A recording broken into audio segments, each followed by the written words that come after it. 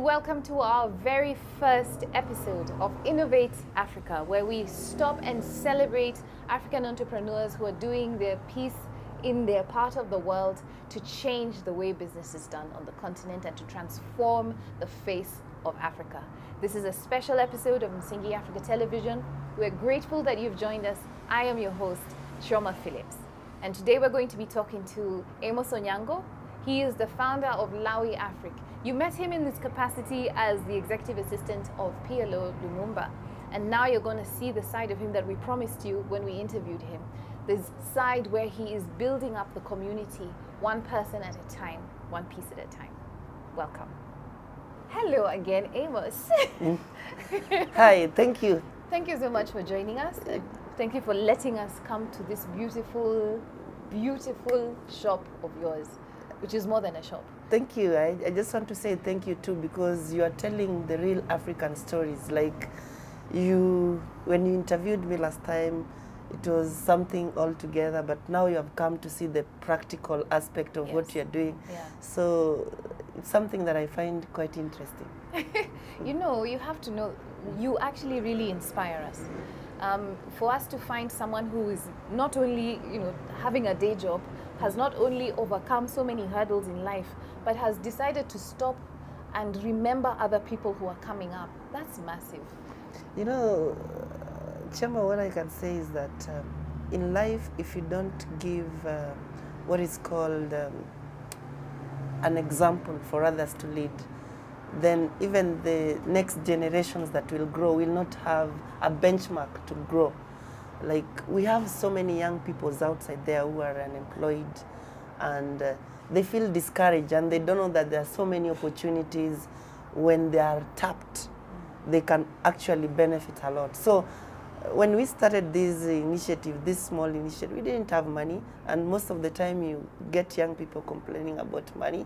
And you, as you can see, the shop is not that something big, but I'm happy by grace of God we are growing, and these baby steps that we are making will eventually uh, bear fruits that uh, will uh, at least help the next uh, generation to come. Yeah. Yeah. So you can remind our viewers uh, what exactly is Lawy Africa? Okay, Lawy Africa, currently we have Lawy Africa Business and Lawy Africa Foundation. So I'll, I'll talk both of them, but Yeah. for now I want to dwell, because they are in the business aspect, I'll talk about the business. So Lawy Africa um, uh, purposely is to produce, um, to make African products, to appreciate the African culture through making African products, that is from African accessory, wares, you can see all these things, Yeah. they're Africans. So we, we, we, we, we pretty much focus on African products, doing them in an African way. Some are handmade, some are local fabrics from different African countries, Ghana, Nigeria. And then we make accessory using them, we make uh, shoes using them, we make uh, uh, nice hearings the way you are seeing. Yeah. So it's, it's quite interesting. But uh, in a nutshell, Lawy Africa's, uh, Lawy Africa um, company is meant to at least uh, en- entice and um, mentor upcoming young people to at least appreciate that they can start with the little they have to make something out of it. Yeah, that's true. How much did you start with? I think uh, roughly, estimately, in terms of the product, starting with buying the materials, I can say it was around uh, 50,000 Kenya shillings. That's about uh, $500. $500. Yeah. Yes, but as you can see, uh, that 50 has made so much Yeah. doing that now even uh, our monthly turnover i can say we can make a profit of roughly around uh, uh, more than more than that 50000 because around 40000 if we have done all the expenses monthly in the in the display shop Yeah. yeah And you have a team of people who are now working here. Yes, we have a team of young people, and all of them come from uh, different diverse group, and they are needy. I think you, you have met some of them, and you are still going to meet some in the foundation part. Uh, majority of them are very needy, and majority of them are very creative, and they have that urge to learn. So we brought them in, and some are doing different uh, um, design, some are making different things. Actually, they are now improving their skills because now we even have better machines. Eh? Earlier on, when we started, we started with two machines, which are just normal machines. But now we have multi-purpose machines and we have electric. Yeah. So you know, multi-purpose can do anything. They can make bags, they can make shoes, they can make all type of African uh, products. So they are learning each day by day, and our intention is that uh, when they make their pro, pro, uh, products, they brand with their name, but we sell them under Lawy, and then a little percentage comes to us. Then the larger percentage goes to them. So at the end of the day, they have something Yeah. uh, that uh, they No, can that survive can- with. Yeah. And they can say that it was Yes. them who did it. Exactly. Yeah. That's beautiful. Yeah. So have you seen like they have changed and I'm not now even speaking financially, but in terms of how they view themselves and how they live in their communities, are they changing? Of course, they have changed, and some of them are even breadwinners, and even uh, in terms of uh, bread bread providers. eh, uh, some of them are uh, they don't want to leave the shop. Like I can come and find we, are, we want to close. You know, they, they even ask you that they can stay for long, but you know we have curfew hours in Kenya now, so they have that hunger to learn more Yeah. and uh, they have that anxiety to want to know a new thing. You know, if somebody wants to learn and know a new thing, that means there is aspect of innovation which you are now uh, talking about, which is very good for Yeah. Africans. Yeah. So I think there is uh, a sense in which uh, I love what they're doing and I appreciate them. And my wish is that as we continue to to nurture them and even to, to, to, to expand, they begin to empower other young people so that we can have a generation that is empowered economically. Right. Because when Africa is empowered economically, then uh, we will not have this issue of poverty. Because poverty, we have poverty of mind. It's not poverty, real poverty. Yeah. Poverty is in our mind. So long as we decolonize our mind by empowering other young people to appreciate and to use their little skills eh, to make this kind of apparel, then I think we can uh, we can go far in terms of empowering the youth. Yeah. But see, this $500 that you started with, I'm sure you could have used it for your own self. Yes, Why did you choose to invest in the community? of course, uh, I choose to invest because you have seen so many young people are complaining there is no employment. And you and me can agree that our education system is paper based, it's certificate based, it's not uh, skill based. I wanted to do something skillful that somebody can do with their hands and they can learn something out of it.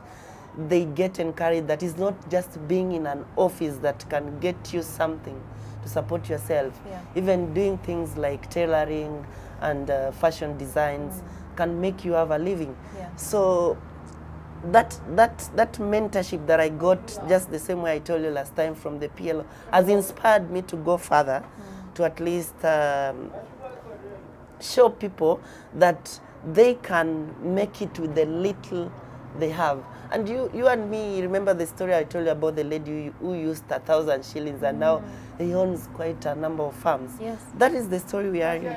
When when we started this, uh, when we started this shop, we didn't open the foundation itself. Yeah. But now this this uh, shop has now uh, encouraged more young people, and they have they are now supporting it. Actually, supporting our products, and even some of the African in diaspora have started getting uh, traction to what we are doing. Mm -hmm. And through their supports now, we are now able to to open the, the training center for young people. Right. And I'm very impressed that we now have uh, 10 machines uh, which were donated by Partners for Care in collaboration with BEM UK. Those are just African in diaspora who are now appreciating what Lawy Africa is doing to the Wow, community. that's amazing. Yes. We thank God for them. Yeah, Thank yeah. you for coming forward to support this initiative. Wow. So what do you do at the foundation?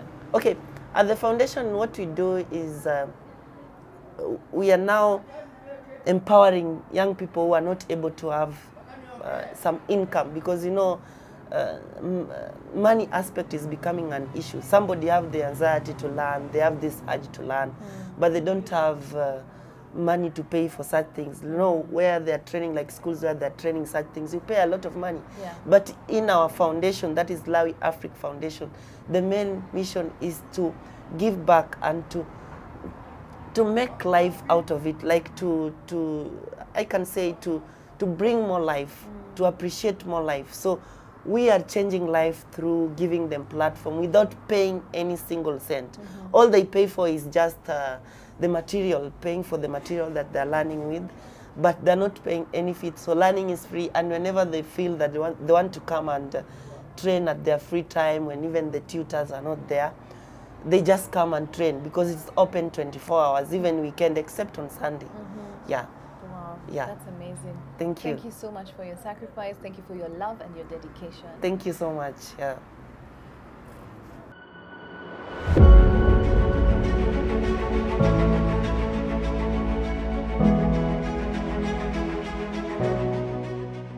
So we're here with Robin. Um, he is one of the trainers at Lawy Africa Foundation. And he also is one of the people who produces um, the beautiful materials that you can see at Lawy Africa. And hi, Robin. Hi, How are you? fine. So Robin is from Tanzania, which is, you know, how beautiful is this coming together of Africa? And you've been with Lawi Africa for how long? Like, like for one year and a half. One year and a half. Yeah. How did you meet this Amos and get started? Like before, Mm. Amos alikuwa kama customer wangu nikiwa na work mahali kwa workshop before to join pamoja like nilikuwa nikimshonea nguo kadhaa za Africans mm -hmm. like akiwa kama customer wangu alikuwa akija like kwa shop most akaga anapenda kuniambia Robin, naona ukifanya kazi nzuri but siku moja nataka tuanzishe kitu kama idea like kutrain ama tu work pamoja like kusupport African arts. So ikawa ni kama ni ikawa ni kama tu ni story like Hamos akasema wacha nipatie muda like nifanyie utafiti nikiwa sawa mipango yangu tutaongea na tuorganize like tunaweza saidiana na transform hii knowledge kwa watu wengine pia. Yeah. Yeah. Why do you think it's important to transfer the knowledge to other people? Kitu cha kwanza naweza sema tulikaa kwanza chini tukaona kuna vijana wengi maybe wenye wanataka opportunity kama hii like wakawa na challenges kadhaa like maybe kitu cha kwanza kupata knowledge kama hii ya kushona basi hata kwa shule maybe kitu chenye kinaangusha watu inaweza kuwa school fees so tukasema like tukifungua kitu kama hii kwa vijana wenye wanaweza kuwa nataka chance kama hiyo Mm. at least inaweza kuwa ni msaada kwa pia na msaada kwetu endapo tutakuwa tume grow ama tumefikia mahali tunaweza kuwa tunahitaji maybe watu kadhaa like kuweza kuwork na kusustain Mm.